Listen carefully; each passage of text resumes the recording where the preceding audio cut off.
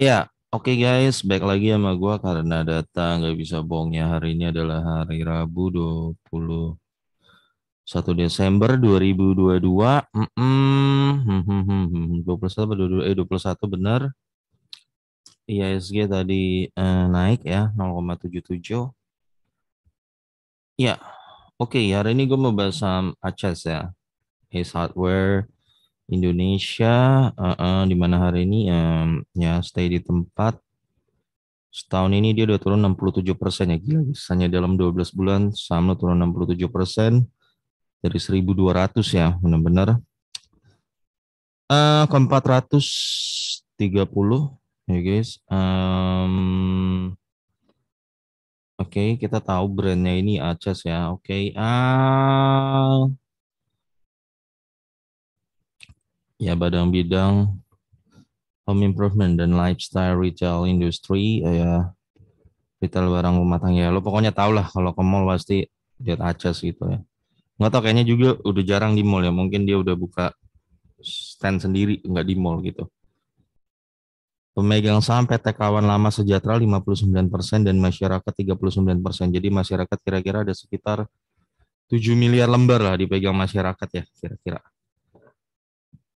bisnisnya produk perbaikan rumah, produk gaya hidup. Ya, gitu-gitu. Oke, uh, kita langsung lihat laporan keuangannya aja ya, guys, biar uh, nggak hoax gitu ya. Uh, uh. 2019 ekuitas 4,4 triliun, 2020 naik 8 persen ke 4,8 triliun ya. Ya, 2021 4,9 triliun naik 2 persen ya. 2022 naik 10 persen ke 5,4 triliun ekuitasnya ya. Uh, iya, naik 10 persen guys. Ini kenaikan ekuitas, ekuitas terbesar dalam 4 tahun ya. Uh, kalau gue perhatiin sih kelihatannya dia banyak buka toko baru gitu. Toko-tokonya modelnya nggak kayak dulu, nggak nggak kayak di mall ya. Apa sih itu namanya yang Aces apa gitulah pokoknya ya. Pokoknya yang bukan di mall deh, udah bukan di mall dia gayanya. Uh -uh. Karena mall sekarang banyak sepi ya. Itu juga yang jadi tanda tanya gue kenapa mall tuh sekarang banyak sepi gitu. Misalnya Mangga Dua, uh, uh, mostly analisa paling masuk akal ya mungkin karena toko online. This, this, ya. Karena waktu itu ada bakar duit, bakar duitnya ya lu tau lah grup Alibaba lah, si Bank. Kalau Alibaba, uh, Alibaba dan Sobeng kan bakarnya di Yoto gitu ya. Kalau si Bank itu bakarnya di Shopee ya, saling bakar-bakaran sehingga menyebab kan terjadi ketidakstabilan istilah katanya gitulah ketidakstabilan gitulah. Orang jadi pada lebih suka belanja online. Karena lo dikasih gratis ongkir dan cashback. Masalahnya masalahnya mereka itu nggak untung melakukan itu guys. Itu jadi seperti karbit karbitan lah. Ya di mana lu jual rugi lu lu siap rugi ya otomatis namanya lu jual rugi pasti orang rame datang ke lu kan. Pasti kelihatan rame tapi itu nggak untung gitu. Kayak Shopee dan Topi itu nggak untung. Tapi mematikan mematikan toko-toko offline gitu loh ya. Mematikan tuh. Ya mangga dua mati Aces mati ya nggak. Banyak mall-mall mati ya lah. Jadi mereka yang yang tadinya buka toko di mall dulu untung, nggak untung, nggak untung. Akhirnya mereka nggak perpanjang kontrak gitu kan. Karena rugi lebih baik jualan online. Ya enggak guys? Jualan online. Akhirnya mall jadi sepi. Ini analisa bodoh gue ya. Uh, bukan bukan hanya gue yang ngomong begini. Ada beberapa orang lebih ke dan menurut gue untuk saat ini itu yang paling masuk akal. Kenapa mall sepi ya, dan toko-toko offline. Nah sekarang situasi menurut gue mulai berbalik guys. Situasi mulai berbalik. Kenapa? Karena kan timelinenya si para investor ini udah habis. Maksudnya mereka nih yang tadinya kayak Alibaba dan si bank ini mereka sekarang udah mulai mau take profitnya melalui IPO. Tuh goal mereka kan finalnya kan IPO ya. Mereka nggak mau bakar duit lagi guys. Jadi makanya lo lihat deh, Topet dan Shopee itu sudah mulai ngeluarin biaya admin macem-macem lah semuanya ya.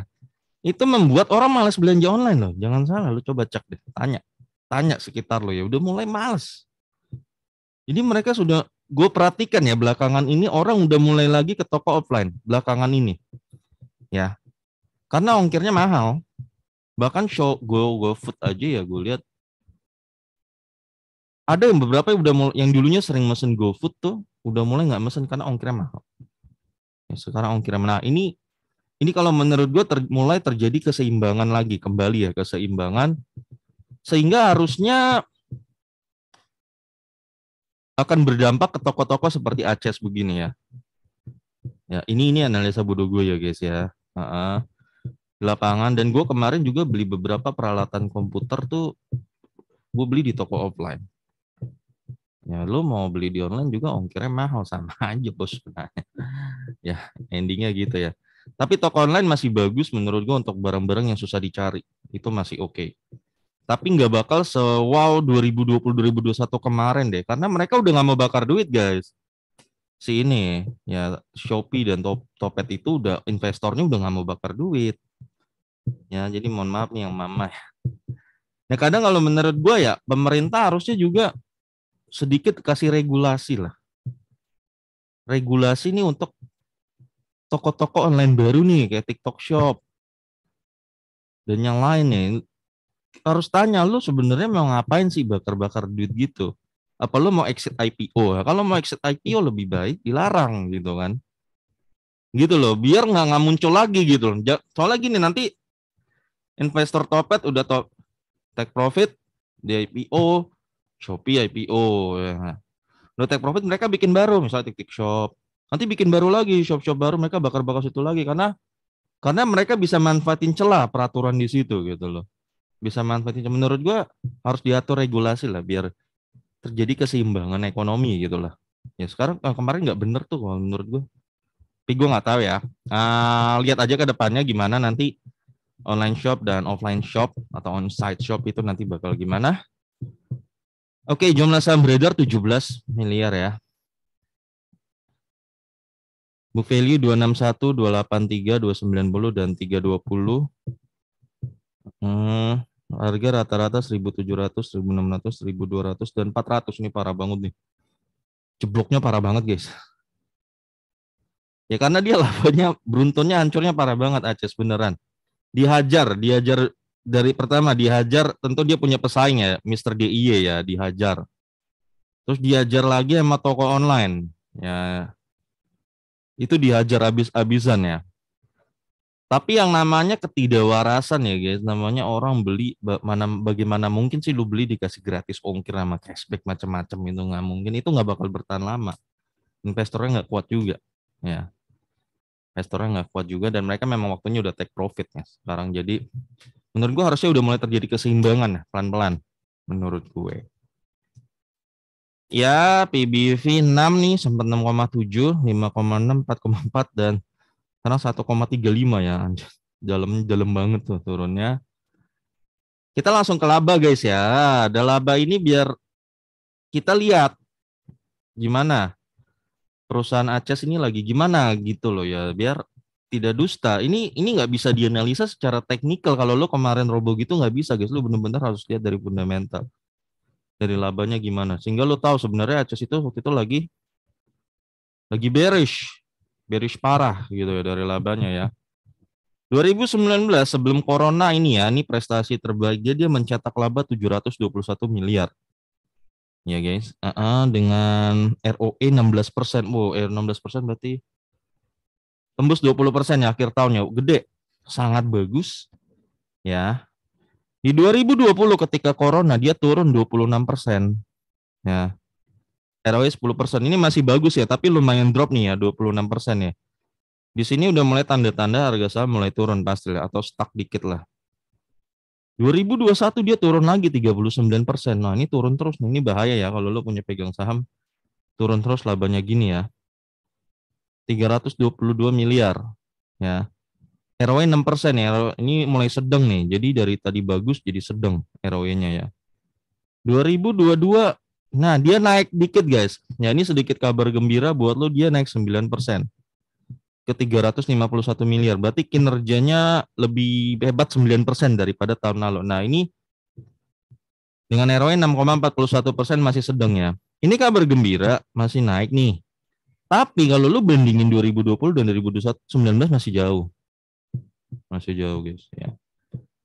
Ya, tapi ini kelihatan ada cerita yang kita tahu bahwa dia penjualannya meningkat, laba bersihnya naik 9% dibandingkan tahun lalu ya. Berarti ada orang secara bodoh kita berpikir ada orang mulai beli lagi ke Aces. Nah, lu tanya faktornya kenapa? Jangan-jangan bener di toko online udah mulai mahal gitu ya. Dan bener guys ya.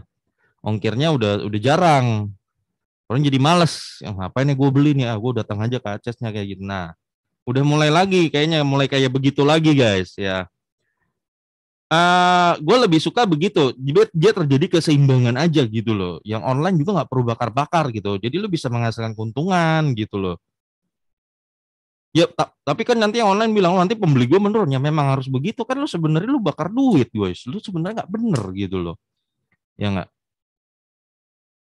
Tapi ya nggak tahu ya. Kayak kayak gue tuh kan masih mau lagi di right issue tuh 10 tahun tuh. Naik isu 100 miliar, 100 miliar, buset dah. Gue bilang, oh, nggak bener loh. Nah sebenarnya itu yang gue bilang, harusnya ada regulasi dari pemerintah gitu loh. Harus tanya, lu mau ngapain sih?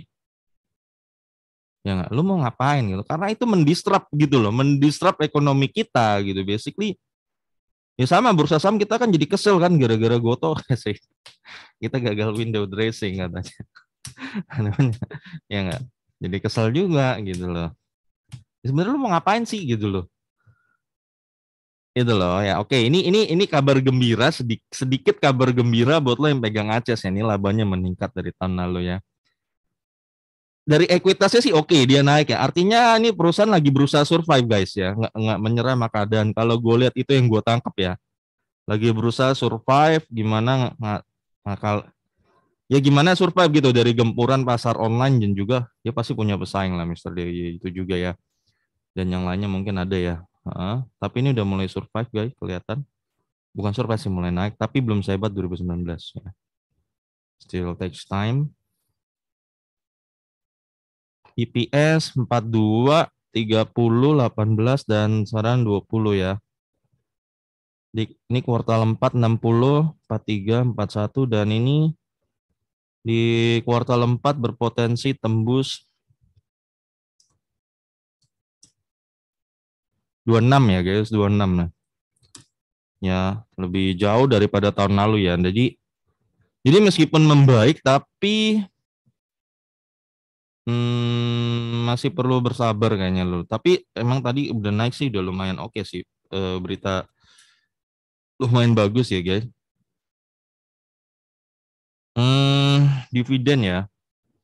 18 yield hanya satu persen dan DPR 30 persen. Ini dia bagian 32, yield hanya 2 persen, uh, DPR 74 persennya. 2021 kemarin dia bagian 20, yield hanya satu setengah persen, DPR 50 persennya. Dan ini kemungkinan dia bagi cuman kalau 50 persennya cuman 13 lah.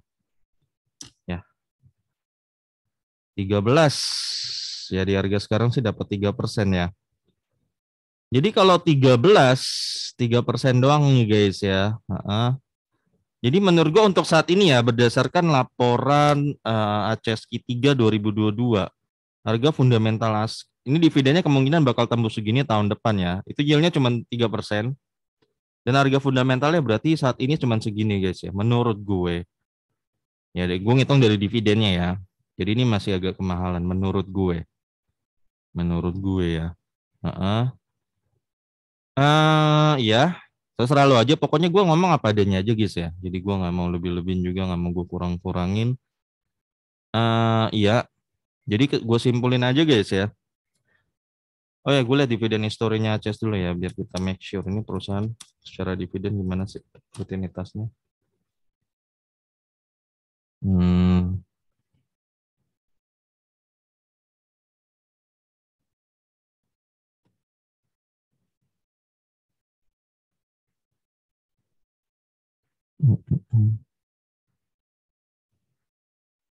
2008 bagi 9 bolong 10, 11 bagi 12, 13, 14, 15.